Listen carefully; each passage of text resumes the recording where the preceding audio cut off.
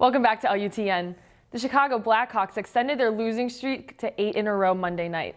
They lost 2 to 3 in an OT heartbreaker to the Carolina Hurricanes in Raleigh.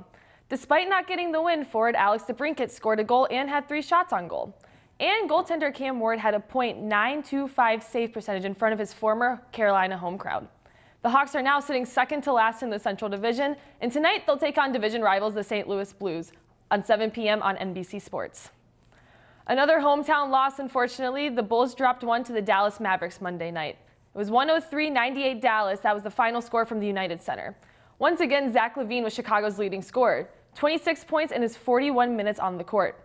The Bulls are looking to improve their 4-10 record tonight in Boston against the Celtics. Looking ahead in the week, they will take on the, the Milwaukee Bucks on Friday, so a big week coming up for the Bulls.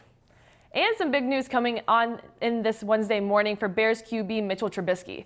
Number 10 has been named the NFC Offensive Player of the Week. The news breaks after many critics have called his performance Sunday against the Lions his best yet. Some of his stats from Sunday include 23 connections on 30 pass attempts, 3 TDs, and no interceptions. Mitch and the rest of the Bears have a big upcoming week ahead.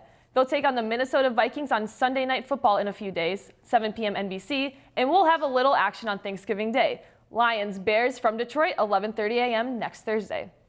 And in briefs, the New York Giants squared up against the San Francisco 49ers for this past week's installment of Monday Night Football. 27-23 Giants was the final score from San Fran. Next week's matchup will see the Kansas City Chiefs at the Los Angeles Rams. And turning over to some Lewis sports, we had two Lewis Flyers wins last night. The women's basketball team had a day against Benedictine University. 102-58 was the final. 102 scored by the Lewis Flyers in their home opener. Senior Jessica Kelleher had 26 points on the night. And the men won a nail biter against Benedictine as well after the women's win. 86 to 49 was the final from the Neil Carey. Last night, Kendale, Mc McCollum had an insane night in his Flyer debut. 23 points and a record high of nine assists. So the Bears have a pretty great week coming up, right? Pretty great. I mean, they're going to get a lot of TV coverage, which is really cool, but they do, did get the short end of the stick. So they'll play Sunday night. Um, really cool. They'll be on Sunday Night Football, but they have to turn around and play Thursday morning on Thanksgiving, which you know usually in the NFL you usually have about a week recovery. Mm-hmm. Now they have what three days to recover. So, but that Thanksgiving game will be good. It will be, and, Lions, and right? I think yeah, it'll be against the Lions. So hopefully they can keep it keep up the winning and you know stay atop the NFC North. Sounds awesome. Yeah.